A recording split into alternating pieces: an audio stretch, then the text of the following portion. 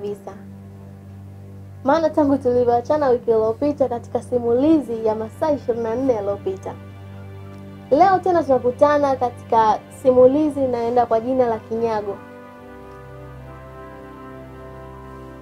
Karibu ujue ni nini ambacho kimejiri katika Kinyago. Naitwa Zulfa, mimi ni mfanyabiashara. Namshukuru Mungu kwa sababu biashara zangu zinaenda vizuri na naendesha maisha yangu.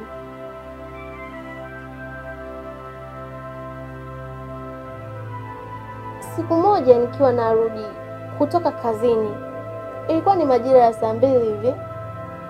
Siku hii sikutumia gari yangu, niliamua kutumia pikipiki ili kuweza kukwepa foleni ya barabarani na niweze kuwahi kufika nyumbani.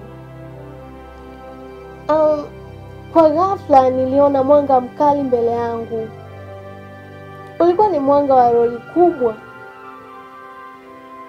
ulinisababisha nikashindwa kuona mbele, kitendo kilichonifanya mimi kugonga mti na nilipoteza fahamu papo hapo. Nilikuja kushtuka hospitali. Nilijaribu kuwauliza manesi kwamba ni nani ambaye amenileta pale hospitali. Waliniambia ni kijana mmoja ndiye alinileta pale hospitali, lakini kwa muda ule alikuwa ametoka na aliaga kwamba angerejea baada ya muda mfupi. Nilimsubiri kwa hamu sana na shauku ya kumwona kwamba ni nani aliyesaidia maisha yangu, ni nani aliyenisababisha mimi nimefika pale hospitali, maana bila yeye huenda nisingeweza tena kuiona siku ile kwa nilisubiri sana, lakini huyo kijana hakuweza kutokea. Nilikata tamaa kiukweli. Nilijigeuza pale kitandani, nikageukia upande wa pili, nikalivuta shuka langu gubi gubi mpaka usoni, nikaanza kuubembeleza usingizi taratibu, na wenyewe haukuwa na iana, ulianza kuninyemelea. Lakini kwa ghafla nilihisi mlango unafunguliwa. Niligeuka ili kutazama ni nani anafungua mlango. Nilimwona kijana mpole mwenye sura nzuri na ya unyenyekevu. Ilinibidi nishushe zaidi shuka langu ili niweze kumtazama vyema. Ah, umeamka? Afadhali, nilikuwa na wasiwasi sana juu yako, alisema yule kaka huku akiinama kidogo akaweka mkono wake juu ya kichwa changu kama mtu aliyekuwa anapima kiasi cha joto mwilini mwangu. Baada ya hapo, aliweza kuketi katika kochi lililokuwa pembeni kidogo ya kitanda changu. Aliweka mfuko pembeni na kuanza kutoa baadhi ya vitu na kuviweka juu ya meza iliyokuwa mule odini mwangu. Alitoa chupa ya maji pia akaiweka pale juu. Tafadhali naomba uinuke walau upate chochote kitu, aliniambia yule kaka kwa sauti ya unyenyekevu kidogo. Nilianza kujivuta kuinuka. Alikuja akanisaidia na nikaketi. Nilipata chakula na baada ya hapo nilipumzika kidogo. Baadaye alinisihi kwamba tutoke nje ili niweze kufanya mazoezi japo kidogo. Nilimkubalia, nilitoka nje. Muda wote huo sikuwa na la kuongea, nilimtazama tu usoni. Maskini, ni kijana mkarimu, kayaokoa maisha yangu. Ni nini nitamlipa? Nilijiuliza nafsini mwangu, na sikupata jibu. Ni kitu gani ambacho nitakilipa zaidi ya fadhila zangu?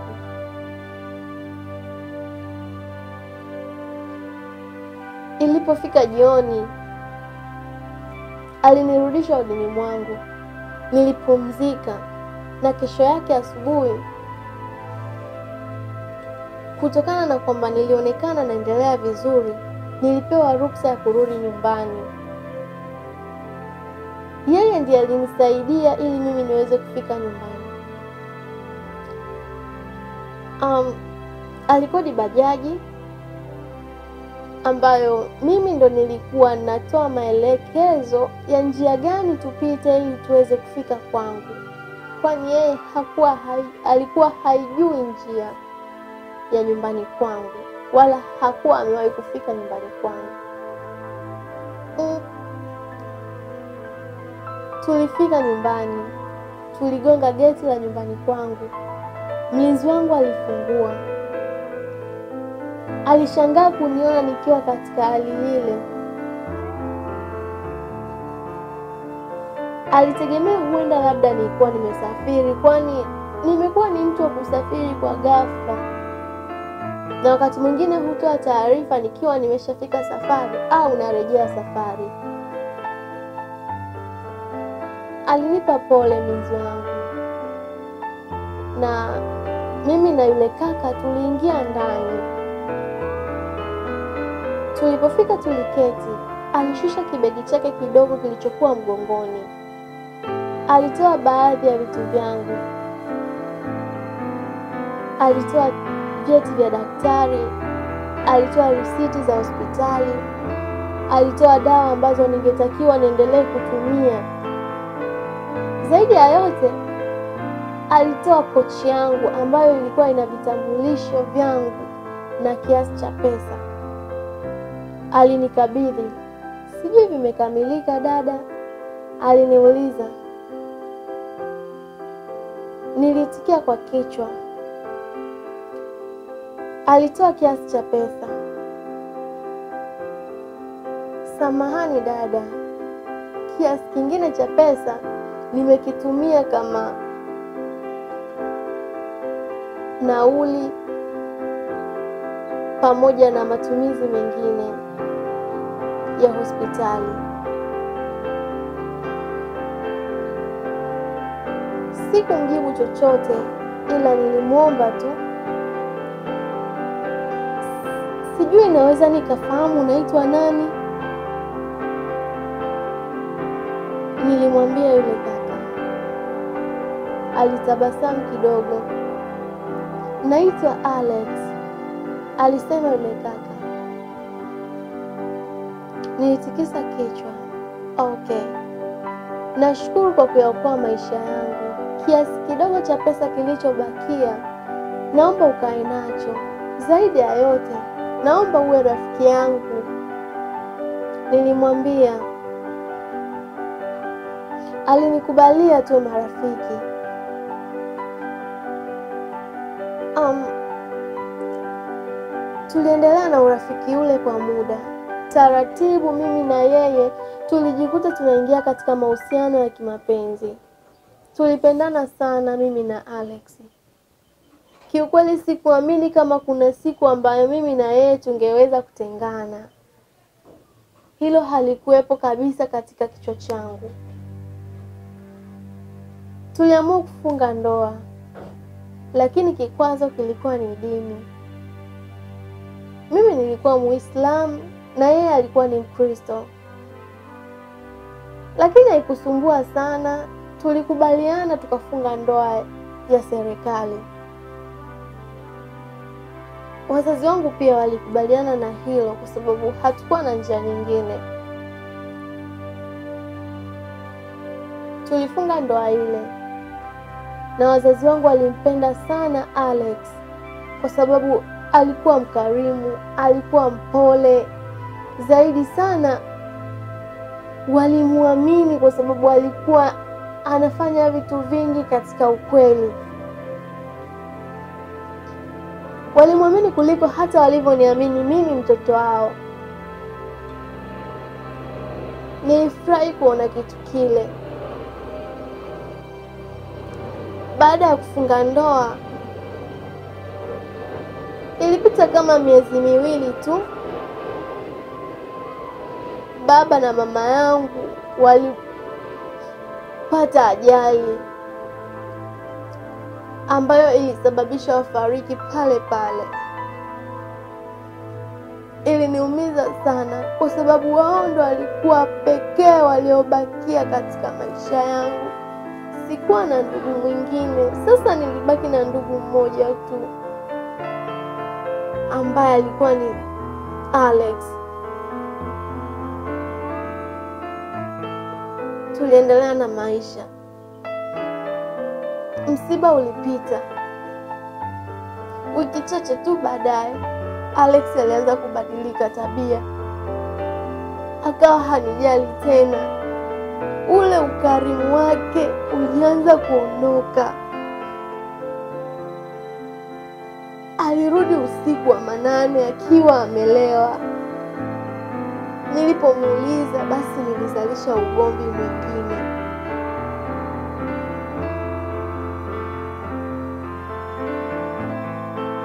Kuna siku alirudi na mwanamke nyumbani na akalala naye katika chumba changu. Sikuwa na la kufanya, nilimvumilia yote hayo. Yalipita, lakini alikuwa ni maumivu makubwa sana nafsini mwangu. Nilizidi kuwakumbuka wazazi wangu. Nilivumilia kwa muda mrefu sana. Niliamua kuitisha kikao ambacho mume wangu hakutambua kuwa ni kikao, ila aliamini nimeita mashahidi ambao wanakuja kushuhudia wakati nikim, nikitia sahihi katika karatasi ambayo alihitaji niweke sahihi siku kadhaa zilizopita nyuma.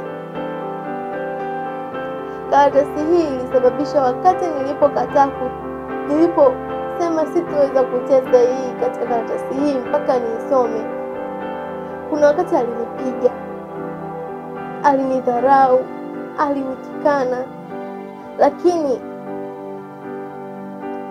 niliposema kwamba nitatia sahihi tena mbele ya mashahidi, alifurahi sana. Nilimwita rafiki yangu Lisa ambaye yeye ni rafiki wa karibu sana kwangu. Nilimwita mwanasheria wangu pia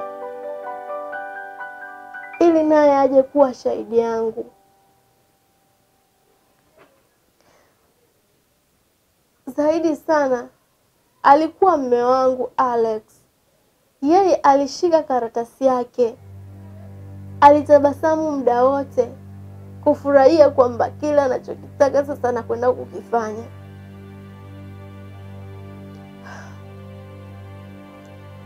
Nawashukuru sana ndugu zangu kwa kufika.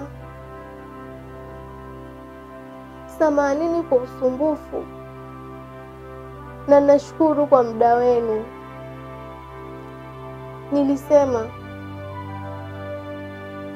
Lisa, rafiki yangu ambaye alikuwa akichezea simu, aliweka pembeni ili kuweka umakini katika kile ambacho nilikuwa nahitaji kukiongea.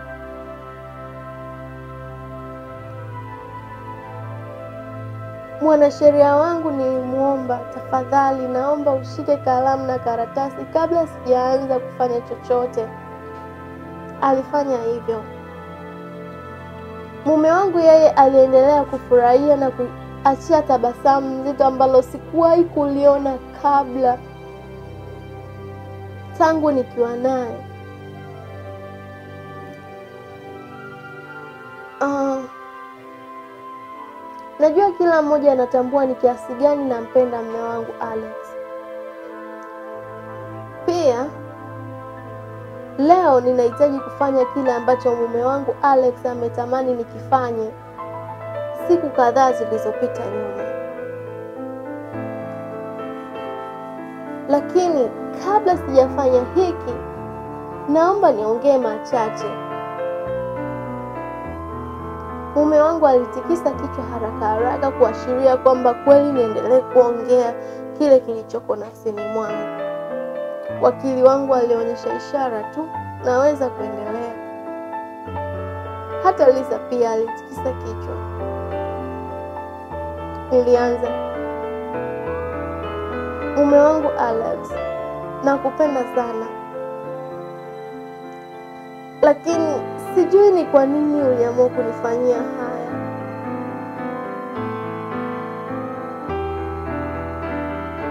Ulinifahamu vyema maisha yangu, ulinitambua vyema kila kitu kuhusu mimi.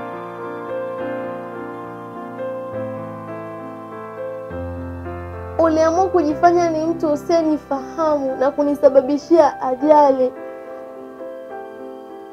Zaidi ya yote, wewe tena ndo ukaja kutoa msaada kwangu mimi. Wewe ndio uliyewasha taa kali katika roli lile, ukanipeleka hospitali, ukajigeuza mwema, ukajifanya kwamba wewe ni rafiki wa kweli. Mwisho wa siku nikakupenda na kukuweka ndani ya nafsi yangu, nikakuamini Alex. Niligeuka kumtazama Alex.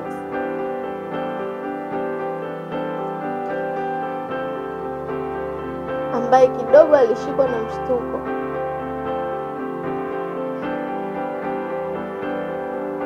Niliendelea,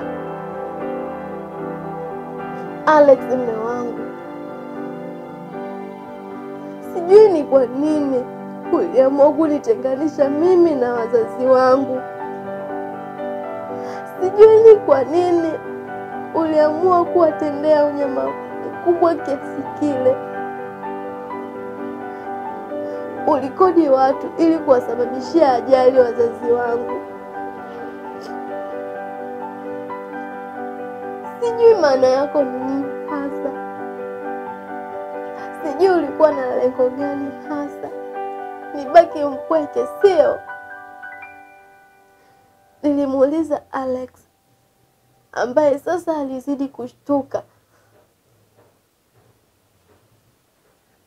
Safari hii alishindwa kuificha hofu yake. Mwanasheria wangu pia alibaki anashangaa kile nilichokiongea. Hata Lisa alikuwa amebaki katika mshangao mkubwa.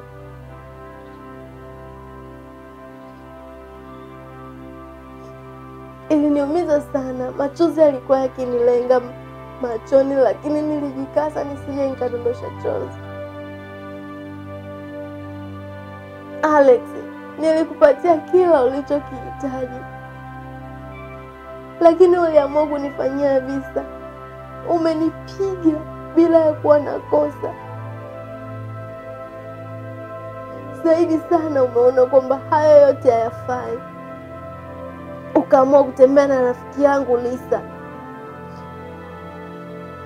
Nilimgeukia Lisa ambaye alishikwa na mshangao mkubwa. Aibu ilimjaa machoni, hakuweza tena kunitazama usoni.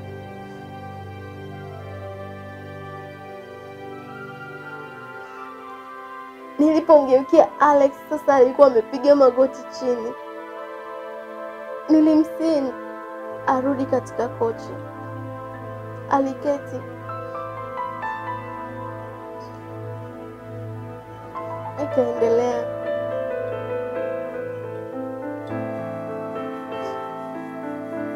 Abdul, hili ndilo jina lako halisi,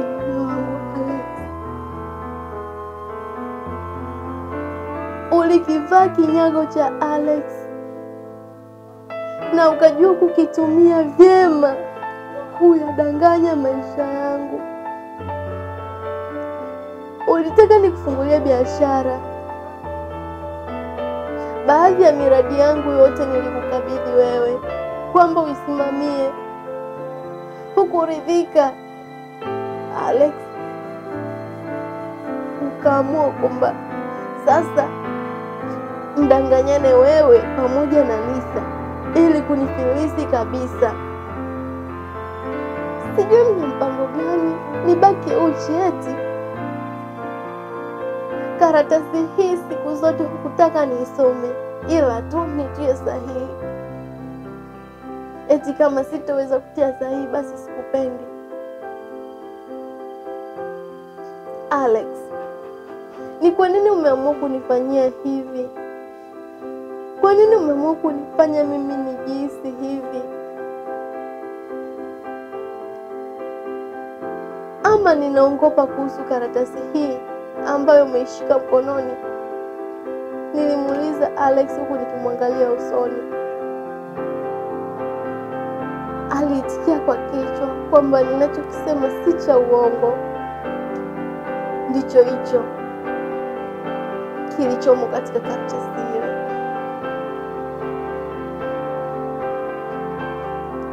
Niliamua kuweka CD ambayo nilikuwa nayo am, iliyokuwa ina baadhi ya ushahidi na uchafu mwingine ambao walikuwa wakijadiliana kati ya Alex na Lisa. Baada ya hapo, nilimwambia mwanasheria wangu, tafadhali naomba uniandikie uniandalie talaka kati ya mimi na mume wangu. Kile nilichomwahidi kuwa ni cha kwake kitabaki kuwa cha kwake, lakini kile ambacho ni cha kwangu mimi basi itarudi mikononi mwangu. Kila mmoja aendelee na maisha yake. Ilikuwa hivyo mpaka sasa. Namshukuru Mungu, naendelea na maisha yangu. Alex alijua kukivaa kinyago.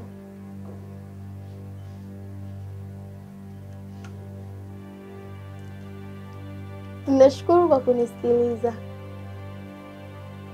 Tukutane tena Jumatano ijayo katika simulizi nyingine mpya. Mm, nawapenda sana.